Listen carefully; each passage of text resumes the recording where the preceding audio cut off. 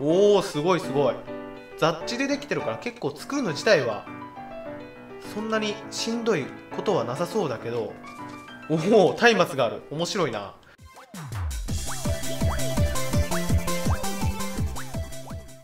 皆さんこんにちは。カンタです。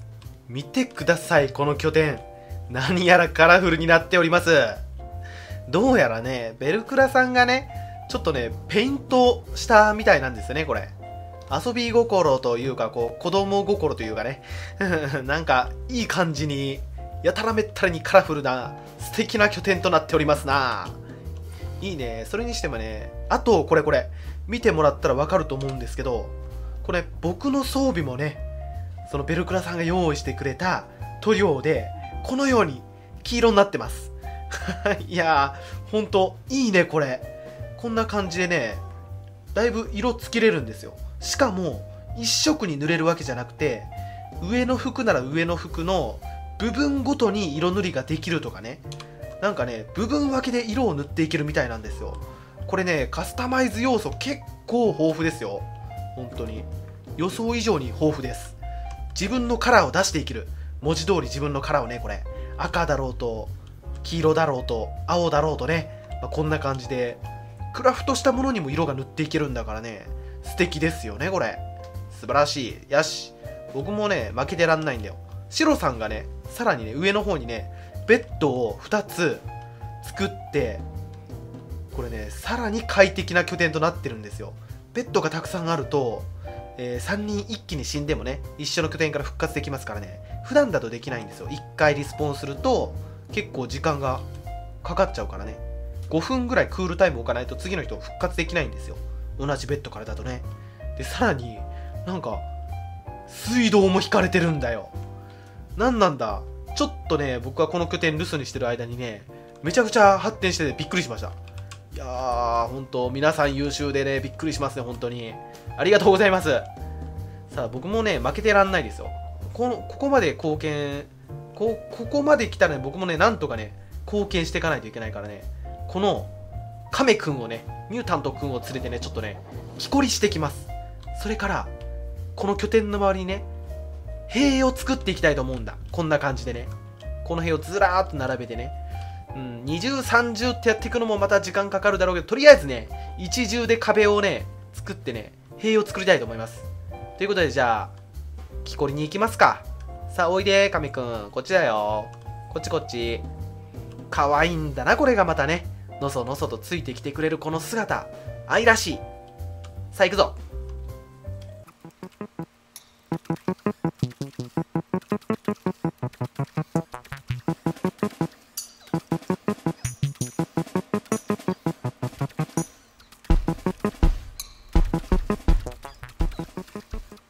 慎重に慎重に設置中です。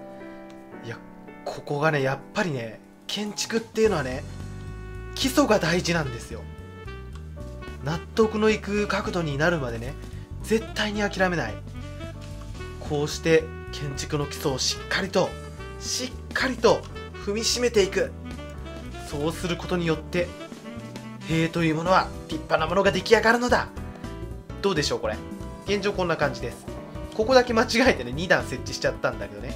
まあまあいずれはね最終的には2段になってきますからね。2段3段4段5段とね まあどれぐらいまでに行くか分かんないですけどね。でこんな感じで今建築している最中です。で設置の仕方なんですがこれはね、えー、一番最初にこうこの塀の土台となるものを設置してその後に塀を設置する。そんな感じの手順を踏んでやっております。さあ続きやっていくぞ。このままどんどん増やしていくぞ。なんてこったい。ちょっとね亀くんがね滝から落っこちてねマジかと思って死んでねえのかと思ってね様子を見に来たらねなんかね滝の裏側にはまり込んじゃってんだよね。これねここ。皆さん見えますかね？かすかに見えますかねこれ。わかりますか？あれ。あそこから動かないんだうちの亀くん。勘弁してほしいね。なんとかしてさ脱出できんかな？こっち来てくれってやってんだけどね全然来てくれないんだなくそーやべえあの亀くんもう戻ってこれねえわ、あれ多分。どうしようかな。どうしようもないな。もう帰ろう。あいつには、あいつは、諦めるしかないのか。諦めきれんな。ちなみにね、上から救出を試みたんですが、僕はね、落下死しました。ダメだこりゃって感じでしたね。打つ手なしです。お手上げです。まあ、それとはまだ関係ないんですけど、下になんかね、家があるんだよな。これ何なんだろうな。あちなみにこれ、この死体、僕の死体ね、これね。うん。救出を試みましたんだよ、これ。だがな、ダメだったんだ。で、この亀。いやもうこの、この亀はもういいんだ。これ何なんだろうな、本当に。こんなところに設置してね。誰か住んでんのかな？カッパかな？カッパでも住んでんのかなこれ？うん。あー、諦めきれねえな。また様子見に来よう。なんとか頑張って生き抜くんだぞ、ミュータント。じゃあな。また会おう。はい。気を取り直しまして、上の方の拠点にやってきてね。これを設置しました作業台、まあ、これがないとね鉄製品はリペアさえできないんだこれがまためんどくさいのだよね。なのでちょっと資材を取ってこないといけないな。壁も作った方がいいかもしれないな。盗まれかねないからね。プテラノドンとかで上から来られたらね。革と木とインゴット入れてこれでリペアアイテム。この作業台がないとね鉄製品修理できないみたいなんだよね。なかなかめんどくさいことにね。これをここに入れてよし使えると。これももうリペアしときたいな。リペア壊れてなくてもできるんかな。あできますね。いいねいいね。問題ない問題ない。じゃこれでまたちょっと採掘とかいけるね。行ってこよっかな。メタル大量に必要だからね。体力不足で死んじゃったからね。遺体回収に来たんですけどなんか手袋が浮いてる。なんだこりゃ。これ回収したら消えるんかな。まあ、とりあえず回収してみましょう。ほいっと。あ、消えたね。何だったんだろうね、これね。まあ、とりあえず肉剥ぎ取っとくか。ほら、ほら。肉4つ取れたな。結構取れたな。焼いとこう。よいしょ。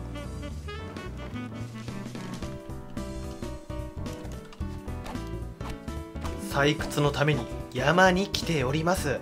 今はね、なんか肉食獣がね、少ないからねちょっと絶好の採掘日和ですよこれこういうね普通の石と違ってちょっとね金色が混じってる石とか黒い光沢のある石なんかを狙ってこうやって取っていくとねメタルがたくさん取れたりねオブシディアンとかいうよくわかんないけどレアリティが高いらしい鉱石をゲットできるんですよ。それをね何に使うのかまだわかんないんだけどね。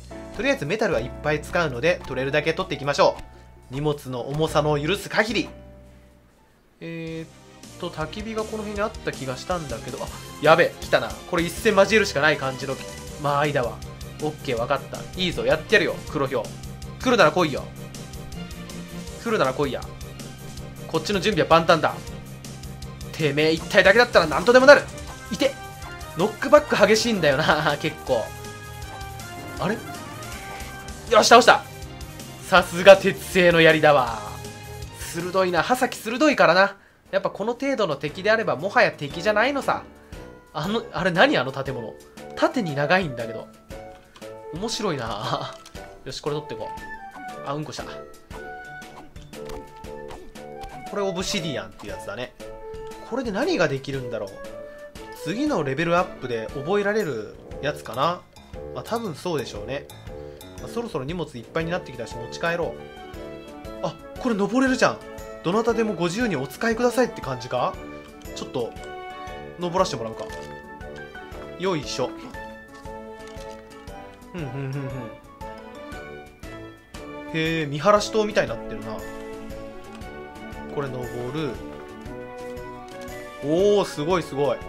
雑地でできてるから結構作るの自体はそんなにしんどいことはなさそうだけどおお松明がある。面白いな。ちょっと火つけとこうか。よいしょ夜とか目立つだろうねこれ。へえあ黒ひょう2体いるなあそこ。ここ降りていくのちょっと危ないな。ここはちょっと避けていこう。うん。またね拠点の近くにね救援物資が来たんでね取りに来ました。まあね緑色の救援物資はねそれほどいいもの入ってないんだけどせっかく来たんだからね来たやつはもらっておきましょう。よしよしあいつが降りてくるこの間にねこのトリキラ君をちょっと買っておこうかな。すまない。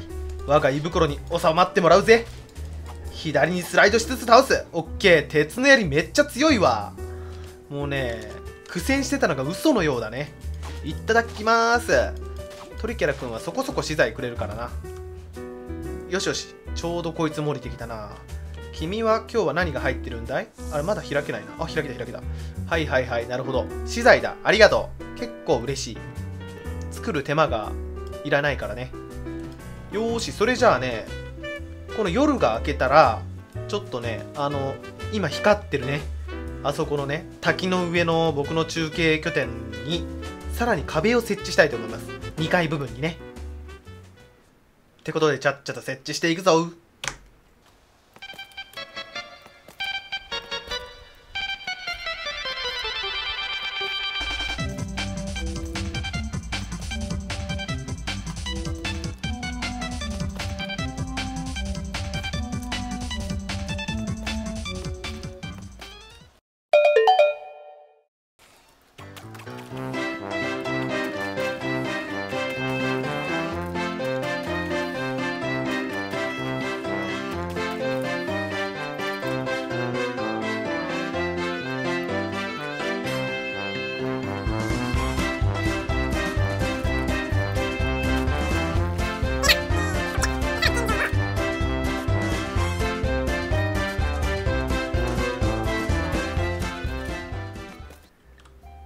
これにで正方形ハウスが見事長方形ハウスになりました。OKOK これでね盗まれる心配もなくなったしね。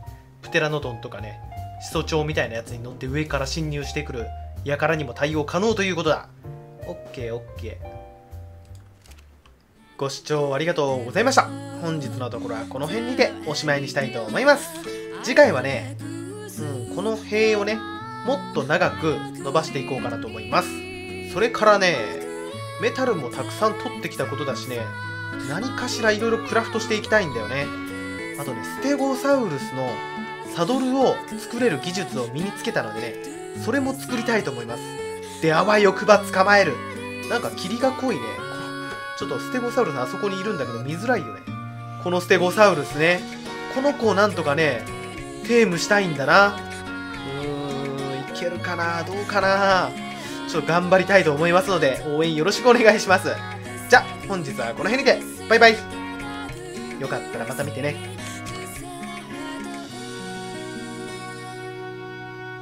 これ装備全部黄色に染め上げたんだけど、なんか、帽子だけえらく黄色の主張が強いんだよね。なんかこう、絵の具を塗ったくったみたい。